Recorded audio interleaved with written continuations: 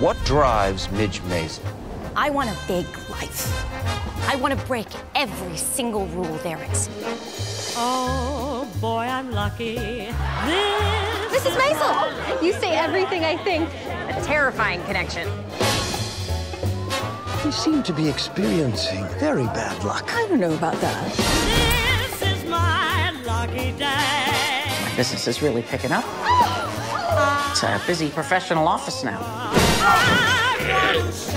What was it like? So many dicks. What? Whatever. Ah, too much talking. Boy, are you in the wrong family, kid.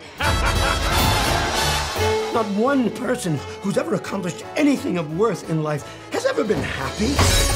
It's two steps forward, three steps back, and I'm tired of it. This is it. This is the break. They don't see you for what you are, a goddamn star. You in? I'm in. It's showtime!